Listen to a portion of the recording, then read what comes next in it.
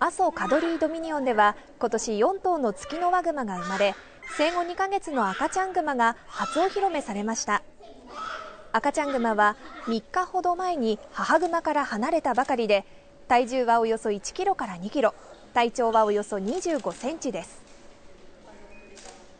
うん、抱っこしてみたいですね、うん、ちっちゃいままなら飼いたいですね。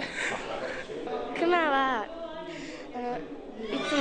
写真とかで見てるとでかいけどこんなちっちゃいとは思わなかった赤ちゃんグマは早ければ来月上旬頃から直接触れ合うこともできるということです。